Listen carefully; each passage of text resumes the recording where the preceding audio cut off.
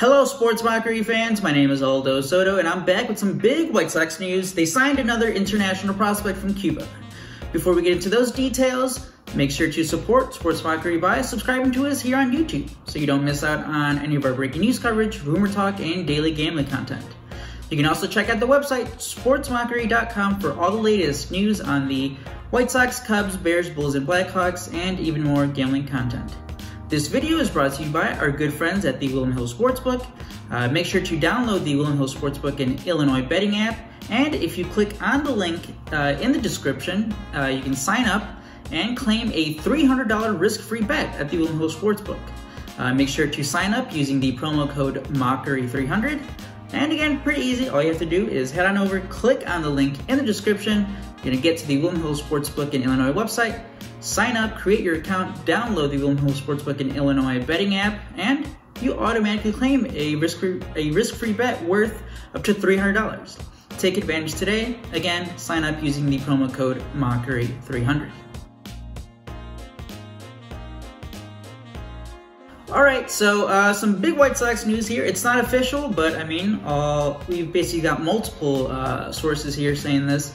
Uh, the White Sox are going to sign the number one ranked prospect, uh, the number one international ranked prospect on MLB Pipeline, uh, Cespedes, and that is the he is the younger brother of Yoenis Cespedes. Um, first, we had James Fox from Future Sox reporting uh, the news on Tuesday, uh, and then uh, an hour or so later, MLB.com's Jesse Sanchez confirmed it, also citing some sources that the White Sox will indeed sign uh, Cespedes, uh, and that's going to be expected to become official uh, when this next international signing period becomes official, uh, and then it opens up, and that's January 15th, 2021. Um, you know, all the, but, you know, the reports indicate that uh, will get uh, about a $2 million signing bonus from the White Sox. Um, now, uh, Yoelqui is different from uh, some of the international prospects that uh, you know you kind of hear in these lists. You know, you, when you think of international prospects coming from uh, from Latin America, you think of you know guys still 16, 17, 18 years old. Uh, but Yoelqui, he's 23. Uh, he you know he's played uh, he's played professionally for a few years in in Cuba. he's played he's appeared in the World Baseball Classic. Um, and you know he's been training. He's been training with his brother uh, in the Bahamas. Uh, you know, and uh, at 23, you know, seems like a huge muscly guy because you know he's only five foot nine. Uh, you know, 203 pounds. Uh, we got like a mini scouting report saying that like since he's been training the past few years, you know, he's put on like 15 pounds of muscle. Uh, so you know, at first while playing in Cuba, uh, was known as uh, you know a line drive hitter, good speed. Um, but now maybe he has a little more power in that bat, and uh, I guess I saw the uh, phrase, you know, explosive bat speed, a uh, bat speed, which is always nice to see. Um, you can see some video, we'll drop it in this uh, in this little section here of his swing. Um, again, five foot nine, uh, 203 pounds. Uh, his all his skill sets, like you know the at the 80 range uh, uh, grades that they use. You know, he's in the 55, 60 range. So, you know, talk about a pretty good, uh, pretty good prospect here. Um, and again, at 23, uh, how far away is he to be, to, you know, coming over and being part of the White Sox lineup? Maybe a year or two. Um, you know, uh, James Fox, who broke the news initially, initially, uh, you know, was asked like, would, would he, would Yoelqui start at Double A? Uh, and he's like, yeah, you know, probably, he needs, he definitely needs some seasoning, so he'll, you know, probably start out at a Double A in 2021, uh, and then you know, go from there. We've seen quick promotions from the from other highly ranked uh, White Sox prospects in, uh, in the past. You know, probably still takes him like a year though. Um, uh, but again, the White Sox showing showing off their uh, muscles here, uh, signing signing the top tier uh, Cuban uh, international prospects here, and they get another one. I mean, we've seen their their track record here with you know getting Abreu, getting Luis Robert. Uh, 2019, I think it was Yolbert Sanchez. Um, so yeah, they they just have that pipeline to to Cuban prospects, and it seems like any top guy, they're they're going to be a favorite to sign them. Um, again, uh, probably plays the outfield. And um, I guess, uh, you know, uh, one of my co-hosts from the Opinion Lizanowi podcast, Matt Zawaski, you can follow him on Twitter at Southside Zoe. He immediately brought up, you know, the Adam Eaton one-year deal. Maybe that makes more sense now. Uh, you know, if you had in mind that you were going to get Yoelqui Cespedes, and it's like, all right, you know what? We think this guy's going to be the future right fielder you probably only wanted, uh, you know, you wanted that short-term uh, fix in right field, and then you can just transition to your uh, to your young to your other young Cuban outfielder there. Um, and again, you know, Adam Eaton's deal has uh, it's a one-year guaranteed. He has an option for 2022, but you know that's most likely not gonna. Probably not gonna get picked up by the Sox there. Um, and then the other question in regards to this signing is, so are the Sox, do the, the Sox have enough money now for Oscar Colas? Uh, and if you remember that name, the Sox were tied with him for, for several months um, before, you know, this, this signing period for international prospects was moved because of the COVID-19 pandemic. So, you know, normally the we see the international prospects start to sign uh, during the summer, you know, just normally June 2nd but the deadline was moved, uh, or the signing period was moved until January 15th, 2021.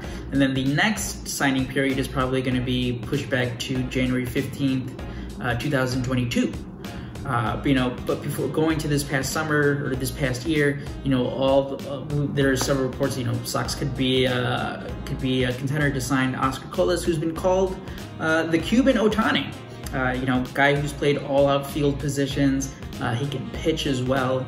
Even, I think he's even played some infield. Um, so he's like obviously a hot, hot guy in the market there. But now, you know, can they afford him? Uh, that kind of seems iffy. Uh, the thing with the international period for this, you know, for this time in MLB is, uh, you know, a lot of teams, they've used up that money. They've used up their international free agent money. Um, so, uh, you know, for a guy like Colas, is there really a team that can offer him a big bonus right now? This seems kind of iffy. Um, he could wait. He could wait until 2022 to sign, but man, that's that's losing a whole year there. I don't know if he wants to do that. Um, but I guess if you are a White Sox fan, that's what you're hoping for right now. Is uh, you know, hey man, just wait one more year and we got you. Um, but if not, you know, obviously getting uh, getting Yoelqui Cespedes right now and giving him that $2 million bonus, that takes a big portion of uh, the international free agent money for the White Sox. So it's unlikely at this point that if um, that if Colas does sign uh, in 2021, that it will be with the White Sox. But we'll see. I guess he could. There is a chance that he, that Colas does wait uh, until 2022, and then you know the White Sox can be can become a favorite again to get him. Um, but Yoelqui Cespedes, what do you guys think? Uh, you know, future right fielder here. Um, the White Sox. The White Sox can feature a lineup of uh, you know one through five. Could be all Cuban players. Um, so you know, great for the White Sox. Another good signing. Again, uh, MLB Pipeline has Cespedes ranked as the number one international free agent. Uh, you know, Baseball America has him 12th. Fangraphs a little lower, like in the 30 range. But Fangraph Fangraphs list also includes uh, some of the Asian players. Um, so, you know, if you take those away, because some of these other lists don't, uh, you know, Cespedes ranges like in the like 25th, 25th spot there. So, you know, we're still talking about a guy who, you know, some guy, obviously MLB Pipeline ranked him number one. Really love him. Um, uh, Baseball America a little lower in the 12 range, and then Fangraphs even a little lower there. So big range here. You know, maybe but you know, I guess you could say he does have that uh, that pedigree we've seen with Yoenis Cespedes. He can be a star. Uh, you know, obviously Yoenis had his injury troubles uh, like throughout his career, and especially like especially his last uh, stint here with the New York Mets. But, you know, that star potential is definitely there. Uh, but uh, we'll see. again, this is reported by James Fox and Jesse Sanchez. Uh, obviously, the team hasn't made that official, but the but it's expected to become official when uh, these international free agents can sign, and that is until January 15th, 2021. But uh, yeah, you can expect that uh, in a few weeks here now. Uh, Yoelqui Cespedes, the new, the new is going to be the new highly ranked. I guess he's not going to be number one, but you know, one of the new highly ranked prospects for the White Sox coming in in 2021. 2021. Let us know what you think of the signing. Do you like it? Do you think he's going to be the future right fielder? Uh, you know, do you think he follows in his brother's footsteps? Do you think he meets that star potential? A lot of questions here at 23. How long do you think it, it takes for him to come up? Do you think he just rises right up through the uh, minor league system for the White Sox? Again, he's expected to start at Double A in 2021. Um, but we'll see. Exciting times for the White Sox here. Just another another solid signing. More positive news. Uh, leave a comment. Turn on the notifications so you don't miss out on any of our latest coverage. Again, my name is Aldo Soto. Until next time, have a good one. And remember, if you want a $300 risk-free bet, click on the link in the description for the William Hill Sportsbook in Illinois.